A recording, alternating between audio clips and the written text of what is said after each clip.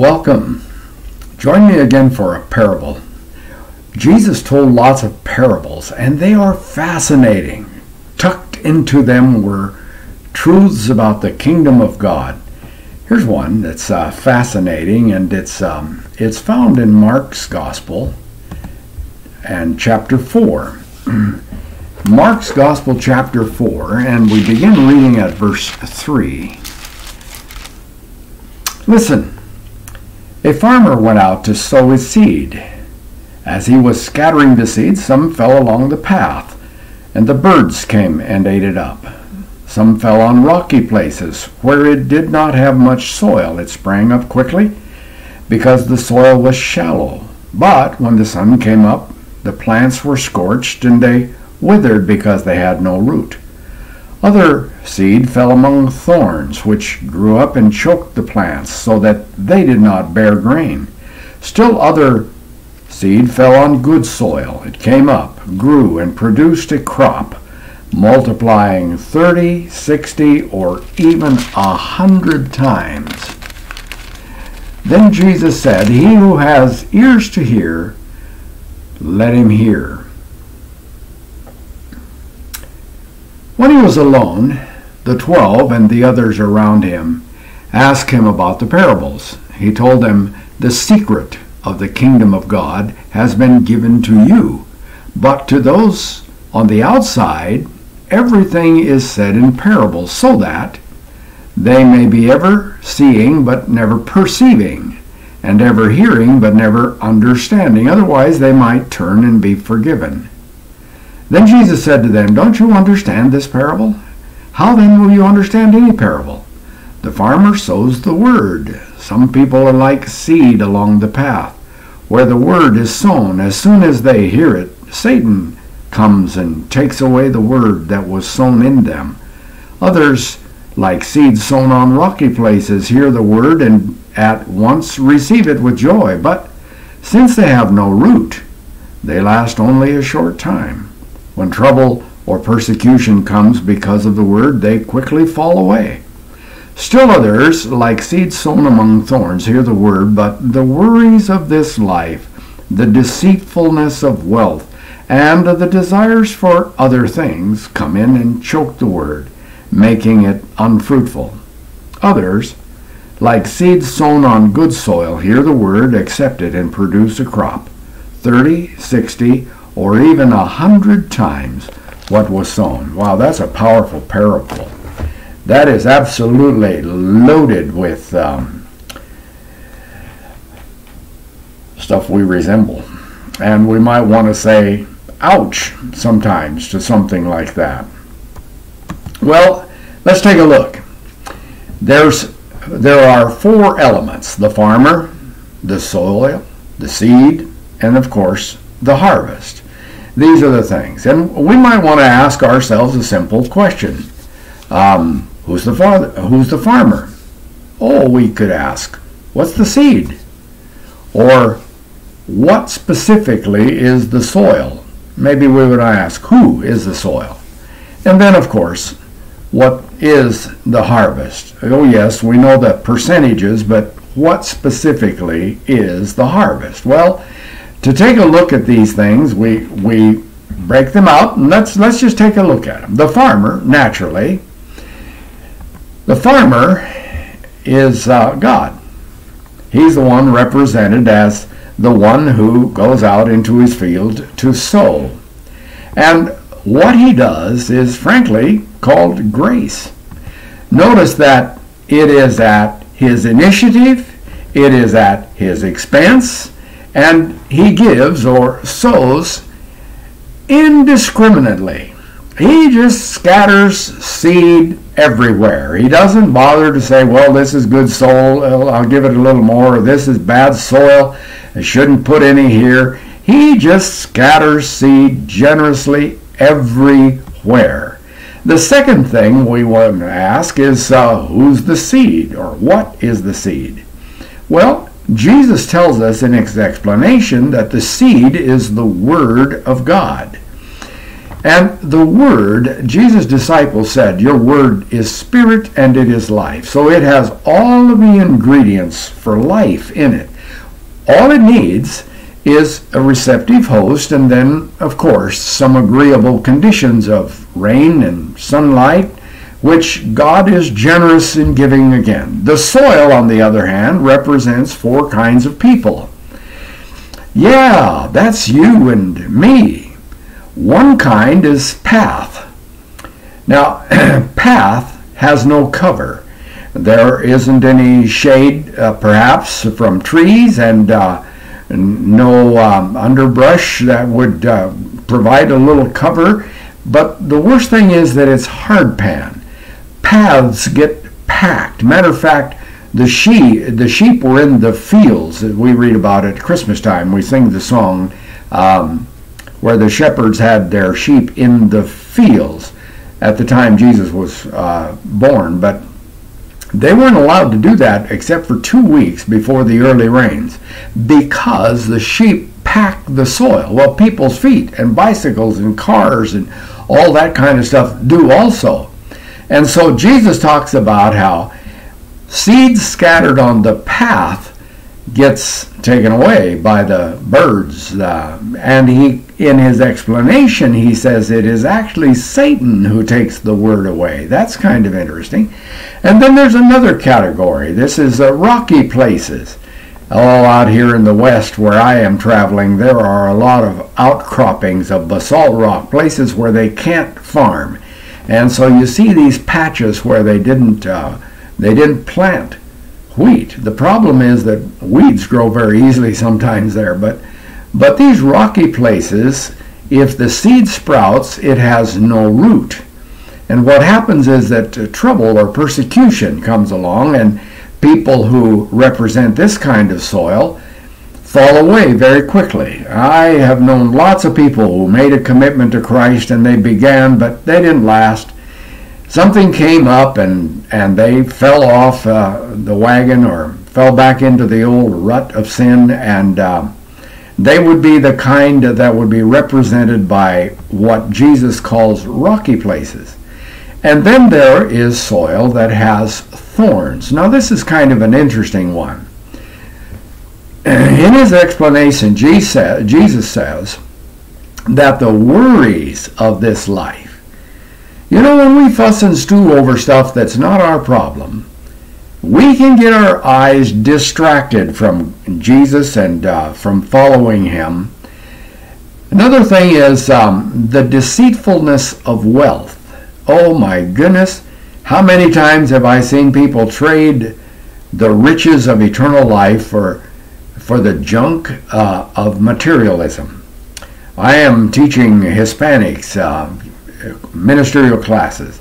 And I have said to the people in my tribe out on this district that we need to raise up ministers and spiritual leaders from among those who are already here.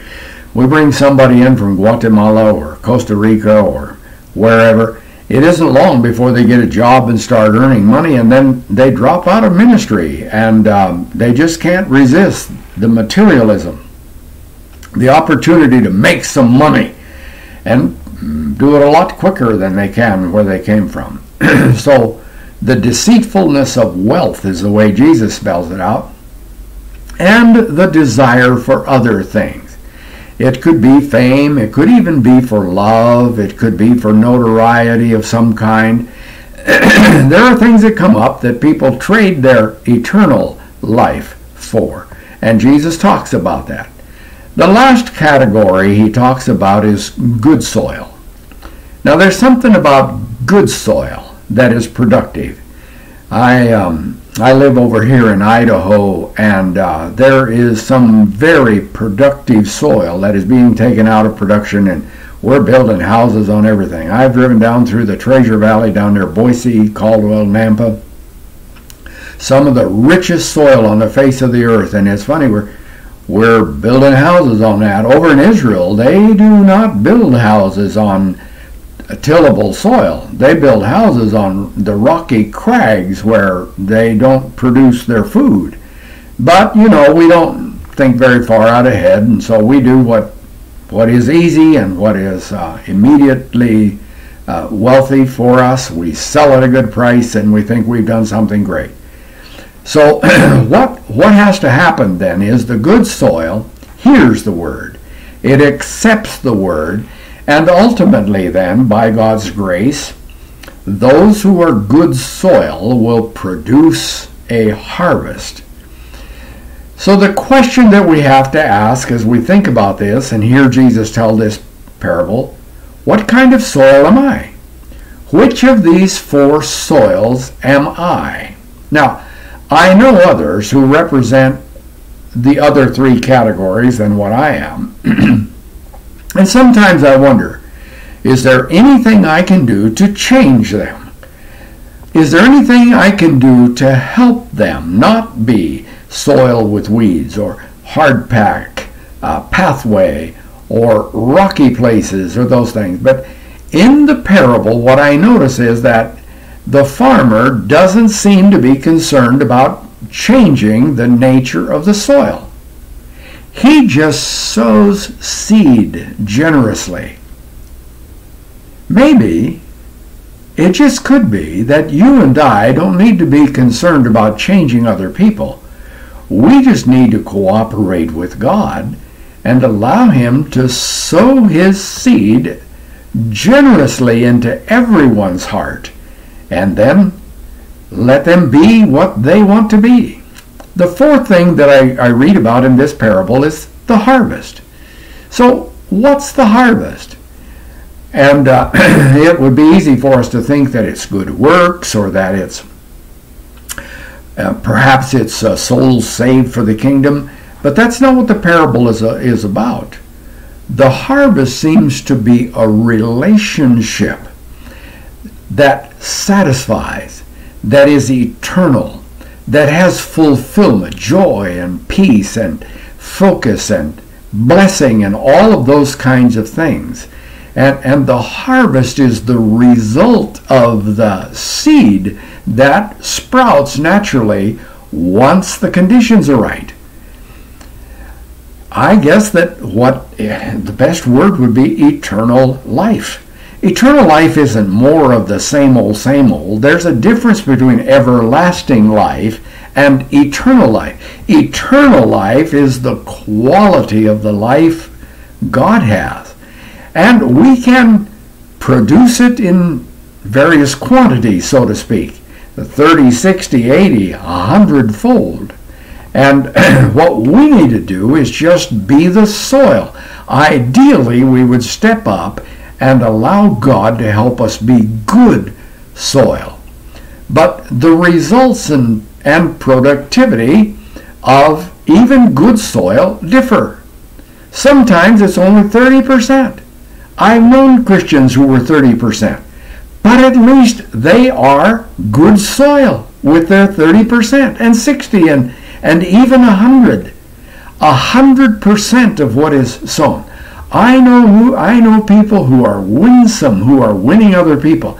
They are a testimony to God's grace that is awesome. Uh, it's amazing what their influence is. They're hundred percenters. I'd like to be a hundred percenter. But you know, I can, what I can be by choice is good soil. And what I produce then will depend on what God is able to help me be or do or whatever that might be. So I try to get everybody to produce at the 100% level. But that's impossible. And I drop back and I watch God God is the farmer who simply celebrates the harvest, whether it's 30, 60, or 100%. God celebrates it. Well, here's some concluding observations. The farmer in the story simply went out to sow. I wonder if we are spending too much time getting soil in pots and planters instead of just going out and sowing the seed, being a part of what God is doing. You see, the soil is always out there, not in church or in a pond or pot or wherever it might be. And the farmer is generous with the seed. He scatters freely. He doesn't work people and try to get them to be something they're not. He just scatters seed. And the result, of course, of the harvest is 30, 60, or a hundredfold. In a different season always than when it was scattered and in various amounts, but harvest is harvest. Sometimes farmers talk about there wasn't enough rainfall and the crop wasn't as good this year. Sometimes something like Mount St. Helens blows and man, everything is fertilized and they have bumper crops for years. There are all kinds of conditions, but the farmer celebrates the harvest. After all, a harvest will happen. And when a farmer scatters seed, there will be a harvest. So here's what I learned. You and I are the body of Christ. How about if we just go out and help God sow some seed? Leave the harvest to Him. But with the certainty that if we scatter generously along with Him, participate in what He is doing, there will be a harvest to celebrate. And you and I can be part of it. Isn't that a great concept? Wow. Pray with me. Father, this is awesome. It's not by our works, it's by God's grace. Help us to be good soil. And it's obvious that God is generous with seed, so as we receive the seed, may it sprout in this good soil that we are becoming, and may there be a good harvest and may we celebrate it with you. There are others out there also that are soil, of various kinds, of course, but help us to participate wherever we can in what God is doing, sowing seed, and then trust that the harvest will, will come and that we will celebrate it with Him. Thank you for these words of wisdom. Bless each of us as we've heard it today. In Jesus' wonderful name, amen. Amen. God bless you. Thanks for joining me today.